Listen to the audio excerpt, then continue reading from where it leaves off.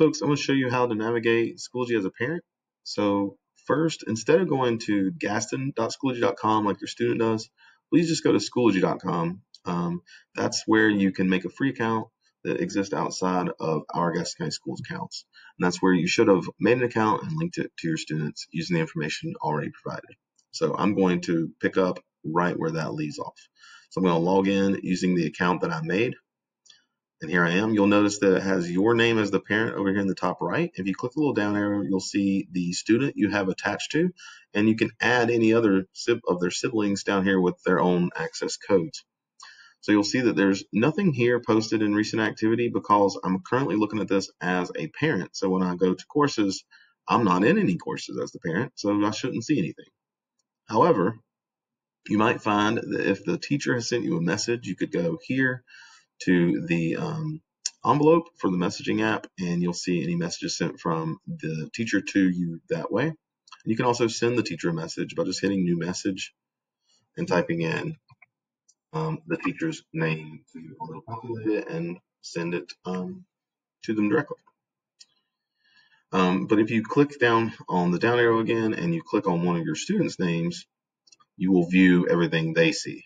Okay. Now here you'll notice that you are viewing your son or daughter, but you aren't acting as them. So if you go in there and find that it says that this is your student's name, but you don't have access to submit assignments or something of that nature, please keep in mind it's because you're logged in as um, your account, not into your student's Gaston County account. So while you can go into the courses and you can view everything that your um, student views, you can see all the stuff um, that they see. You can not participate in the class. So again, if you wanted to navigate through this as your student, you could go courses, and then you just click on any of these tiles to jump into that subject in elementary school to view um, everything that you would like. You will be able to view everything that your student can view, but not participate, and you won't be able to submit anything um, you may come across items that have been added um, from Google that you won't have access to because they've been shared with your, just your student. Otherwise, everything else will appear. You can also go to the grade report and you can see your students' um, grades in each of the courses. You would just click on one of the courses. I'm going to click on a fake course right now for my own son. Um, and you'll see their assignments that they've um, had added and the scores that they have been given there. Um, teachers are not required to use Schoology's gradebook at all.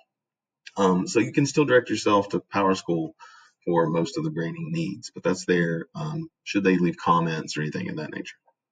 You'll also notice that you don't have the messaging features as your student because you shouldn't message as them, right? You should only message as yourself. Um, but if I toggle back to my parent account, I do have that again. And finally, you're going to want to set up notifications. So if you go into your account again and click settings,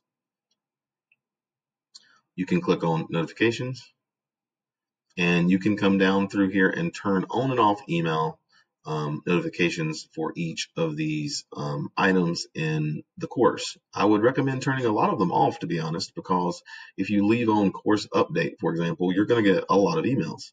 Um, but you may want to check out specifically ones like receive a private message. If the teacher has um, emailed you through Schoology directly, you might want a, a, regular email so that you don't have to go into Schoology and check that each day. And you might want one if you have a student who has course material that's overdue. That might be a good one to turn on there as well. This is doing it globally, so it is doing it for all courses.